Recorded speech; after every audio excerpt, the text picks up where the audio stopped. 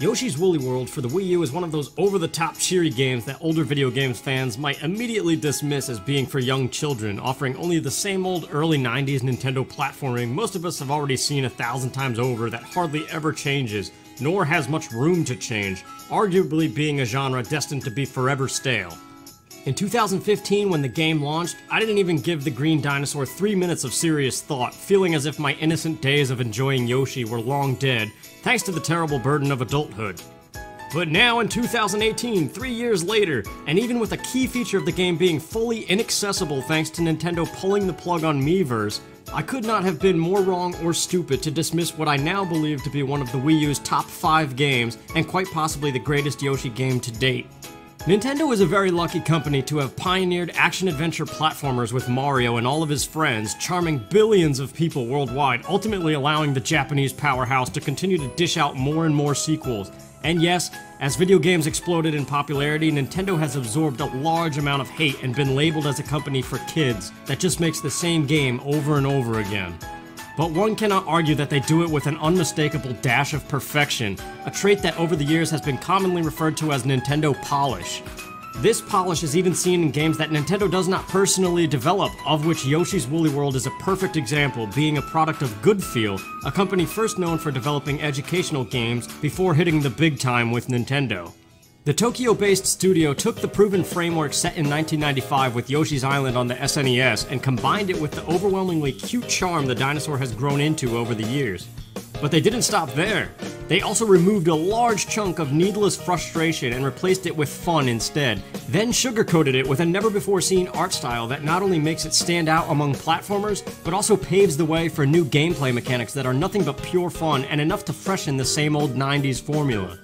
Yoshi's Island is surely an excellent game many of us have fond childhood memories of, but we all also recall the rage inducing Baby Mario and the game's evil red coins that can easily turn the experience sour. Yoshi's Woolly World solves both of those issues by removing the baby entirely and replacing the 20 red coins of each stage with 20 Miiverse stamps collected in the form of gems. These gems are a huge part of the gameplay as they also double as a currency for special power ups.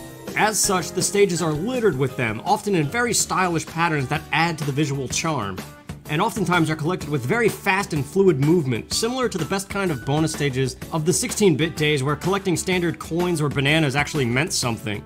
The special 20 gems are very simply just mixed in with these bedazzling arrays, and the hidden goops are usually fairly easy to spot, unlike the red coins of Yoshi's Island, which oftentimes were wedged under random stumps that required excessive ground pounding, or on screen for maybe two seconds before flying away with a Shy Guy, polluting the idea of a good challenge with the stench of annoyance and obtuse mechanics.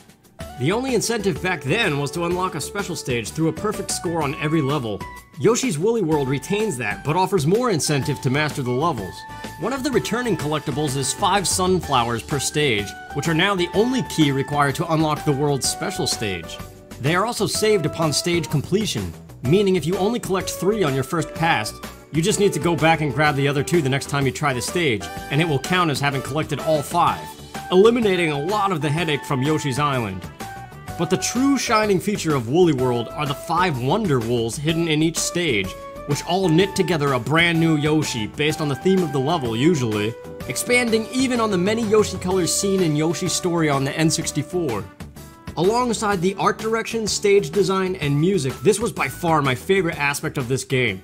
With each yarn color you find on the way to the stage goal, it's exciting to guess what Yoshi you are putting together, and then when you actually see the Yoshi come to life, you are stabbed to death with an overwhelming cuteness that no video game has ever had.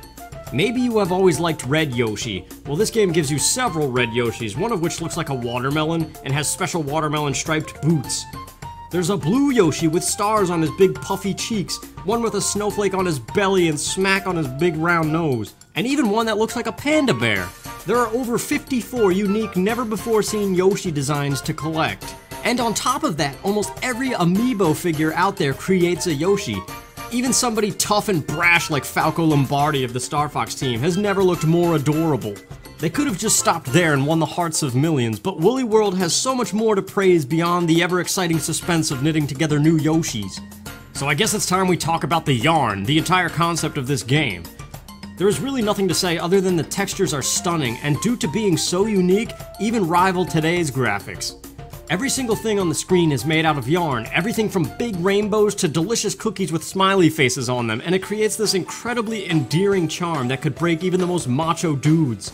The yarn also creates fun gameplay mechanics, such as gulping up knots to unravel entire structures and reveal hidden areas, and also knitting together new objects like pipes that lead to secret areas or new platforms to clear big gaps.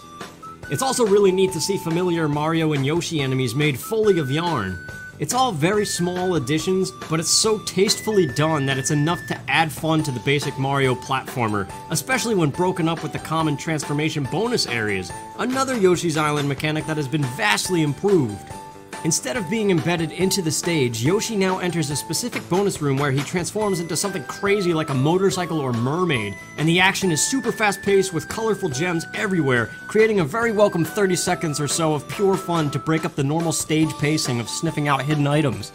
All in all, the stage design incorporates the best of Yoshi's past, straightens out the knots that weren't so great in the past while still retaining a moderately increasing challenge, and adds a hugely adorable new flair to the whole experience. But before I close out this review, I absolutely have to talk about Woolly World's music, arguably the best aspect of the entire thing. The majority of the songs were composed by Tomoya Tomita, the former Konami employee responsible for many outstanding Castlevania and Goemon soundtracks, and his talent shines brightly here as well.